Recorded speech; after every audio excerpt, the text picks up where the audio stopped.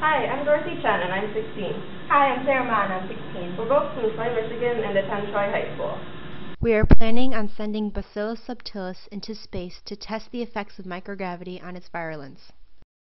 We got the inspiration for our experiment from previous research on Salmonella. A strain of this bacterium was grown in space. When it was brought back down to Earth, it proved to be more virulent than the original strain. In our experiment, we are planning to send the QST-713 strain of Bacillus subtilis, a typically harmless probiotic fungicide, into space to see if it will become more virulent to fungi like Salmonella was to mice.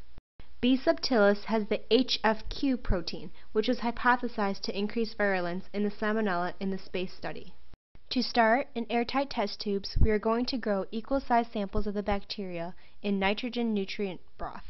Nitrogen is necessary to ensure the anaerobic growth of Bacillus subtilis. One of the test tubes will remain on Earth. This is our control. The other three test tubes, which will be sent to space, will have either fertilizer, phosphate ions, or nothing added to them. In our research, we found that phosphate ions prevented the increased virulence of Salmonella, so we wondered if the same inhibitor could curb B. subtilis' effectiveness. We are also curious as to whether common fertilizer, which includes phosphates among its ingredients, can double as a bacterial virulence check.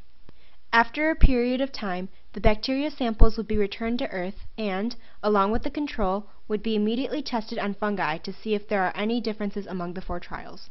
We think that the unaltered sample sent into space will be the most efficient in killing fungus, and the control will be the least. We believe that the phosphate sample will be more effective than the control, but less effective than the unaltered sample. Also, we expect the fertilized sample, because of its many potentially interfering chemicals, will be slightly less effective than the phosphate sample.